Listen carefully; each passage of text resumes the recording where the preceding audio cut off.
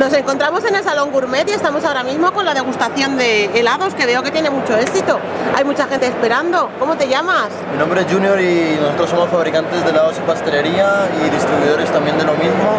¿vale? Tenemos diferentes sabores desde maracuyá, un yuzu que es un cítrico japonés. Enséñame, enséñame con una cuchara, por Este es- favor. Este es el de maracuyá, ¿vale? Ese es el de maracuyá. Este es el de maracuyá. ¿Alguno quiere gustar de maracuyá? ¿Vale? Tenemos de yuzu. A ver, el de yuzu. El de yuzu es este. A ver. ¿Vale? ¿Qué es yuzu? El yuzu es un cítrico japonés, ¿vale? Vale. Que no Enséñalo a ni limón, ni mandarina, ni... Vale. Y luego veo colores japonés, como, ¿vale? como muy llamativos. Sí, luego tenemos por ejemplo el de wasabi, el de té verde, tenemos de regaliz, de limón con zumo de limón, tenemos uno de cerveza con cereza y tenemos uno de gin tonic también. Está muy bien. Un, helado de gin tonic, madre mía. Sí, eso me logrado. Vosotros sois franceses, ¿no?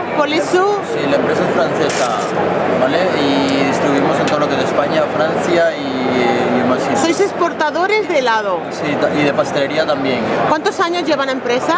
Como llevamos más de 20 años trabajando O en sea el que sector. fenomenal, ¿no? O sea que es una, una empresa dedicada al mundo de la pastelería. ¿Vosotros ya estáis instalados Sí, o estáis estamos instalados y trabajamos con cadenas de hoteles, con restaurantes, con y para, para distribuidoras también.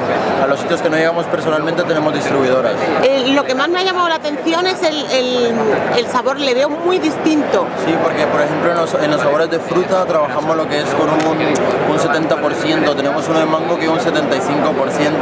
Nuestros helados no lleva ni conservantes, ni colorantes, ni nada de olorante, ni nada, ¿vale? Y, en es- y nos basamos en eso, en que la materia prima sea, por ejemplo los chocolates es chocolate de Valrona, tenemos el de la fresa senga que se cultiva en Yugoslavia, que no es ni la fresita del- de los frutos del bosque ni, la, ni el fresón este grande, es una fresa pequeña.